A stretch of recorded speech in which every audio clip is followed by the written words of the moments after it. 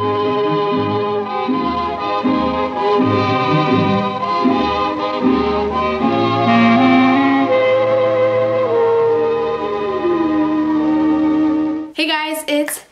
Sani and today I'm going to be filming a prom get ready with me. So basically I did this makeup look and then I also have a really cute outfit on.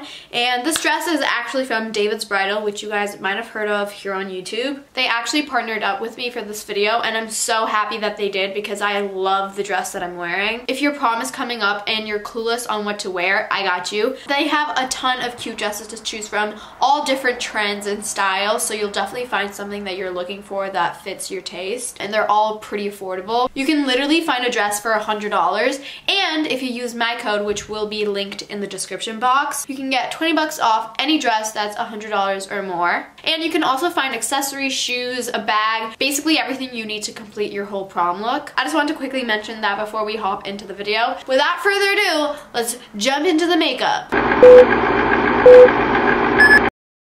So after moisturizing and making sure my skin's super soft, I'm going to be going ahead and concealing my eyelids because I just want to go ahead and jump into this look with the eye makeup. After the concealer, I'm going to be applying a little bit of primer so the eyeshadow lasts, and then I'm going to be sticking two little pieces of tape just to make sure my wing is very sharp after the eyeshadow.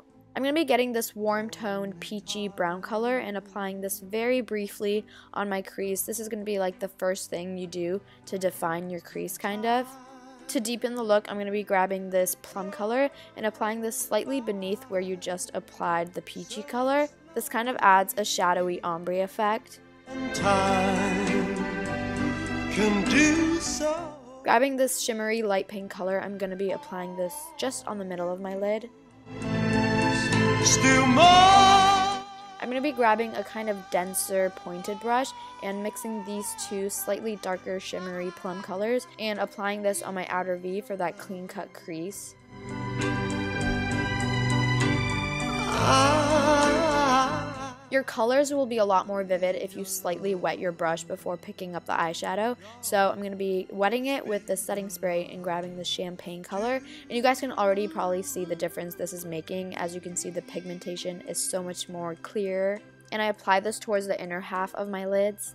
For the final reveal, you can peel off the tape and just blend it slightly so it doesn't look like your eyeshadow came out of a machine. I used a little bit of liquid liner to define my lash line, but I didn't wing it. Next, I grabbed the soft white color and just put it in my inner corners to brighten up my eyes. And just to incorporate the bottom lash line to the look, I grabbed this plum color and just applied it on my lower lash line. Moving on, I primed the rest of my face, and you guys are kind of going to see that this makeup tutorial is kind of out of order, so please bear with me. Next, I lined my waterline with this black eyeliner and my Tightline just so I can get a cat eye effect. I mixed this illuminating primer with tinted moisturizer because I wanted really, really light, natural, glowy coverage. So I put this all over my face and I blended it with my Beauty Blender. Put your head on. And I buffed it into my skin with a stippling brush. Next up, I want to conceal my under eyes, so I'm using a little bit of concealer to cover up my dark circles, and then again blending this with my Beauty Blender. And try to be careful, because obviously you don't want to cover up your eyeshadow with the concealer. And once I was done with the face makeup, I just set it all with the setting powder. Next up, I curled my lashes, as you can see, pretty out of order, and then put on my favorite mascara, which is a Better Than Sex mascara by Too Faced.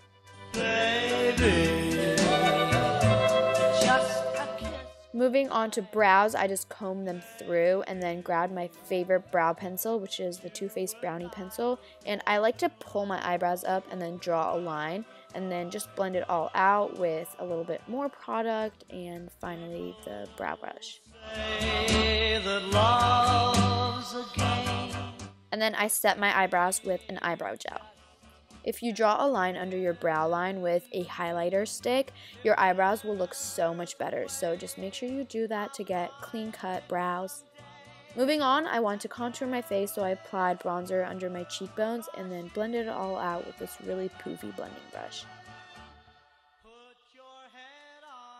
I did the same wet your brush trick for my highlighter, so I'm grabbing the Fenty Beauty highlighter and just applying that onto my cheekbones, tip of my nose, brow bones, cupid's bow, everywhere. I didn't want my lips to look crusty under the matte lipstick that I'm going to be applying, so I just moisturized it using this Nooni lip oil. And then I lined my lips as a layout for the lip gloss. Lip stains can get messy, so I think it's always best to start off with little and then add more as you feel the need to. And then I finished off this look with this glowy peach colored blush on my cheeks. Make sure you use setting spray on prom night because I promise you your makeup's going to be melting off. And this is the finished look. I chose to work with pink warm tone colors just because I knew it would match my dress and you guys are going to see it in a minute.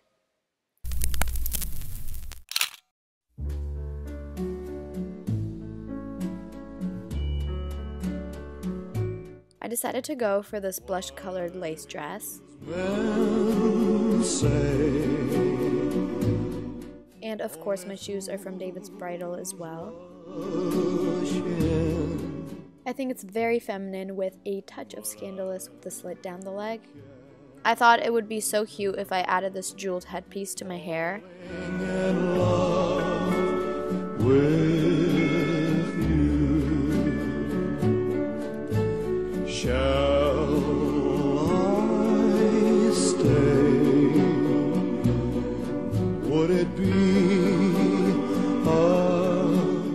And I finished off the look with this jeweled clutch, which was a similar color to the dress. Thank you guys so much for watching this video. I would love it if you could subscribe and become a part of our study squad. I hope I could give you some kind of inspiration for your prom look. If you end up using my code and purchasing a David's bridal dress, definitely tweet me a picture because I really want to see what you guys come up with. And I love you guys so much all the way to Pluto. I'm back. Bye.